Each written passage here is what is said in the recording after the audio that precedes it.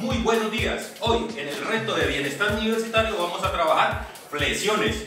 Vamos a hacer en un minuto la mayor cantidad de flexiones que pueda hacer. Ese es el reto hoy de bienestar universitario. Posición. Y comenzamos.